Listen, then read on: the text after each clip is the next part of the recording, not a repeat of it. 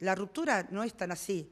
Eh, realmente yo me presenté a trabajar como todos los días sábados por la mañana y encuentro el cartel que dice desinfección. Eh, después me comentan que el parte salió a horas cero ¿no es cierto?, eh, que iba a estar cerrado el, gremio. Eh, mientras tanto, bueno, se habían convocado docentes que ellos sí habían ya, a través de toda la semana, habían estado anunciando que iban a venir al gremio a traer, bueno, las, preocupaciones que, que, se tiene sobre los últimos avances y avasallamientos que está haciendo este ministerio sobre los docentes. Y al encontrar el gremio cerrado, decidieron entre ellos, eh, bueno, hacer carteles y manifestarse de esa manera. quiero demostrar mi solidaridad con todos los afiliados que estuvieron este fin de semana y por lo vertido por la comisión directiva, porque en ningún momento eh, nadie rompió nada, eh, sino que se manifestaron de manera pacífica eh, haciendo carteles.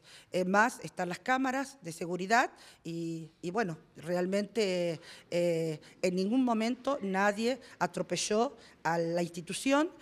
sí se acercó un, un policía en donde preguntó qué estaba ocurriendo y en donde donde vio que se estaban eh, colocando carteles, que los afiliados estaban colocando carteles y se retiró todavía quedando a disposición de si necesitaban algo.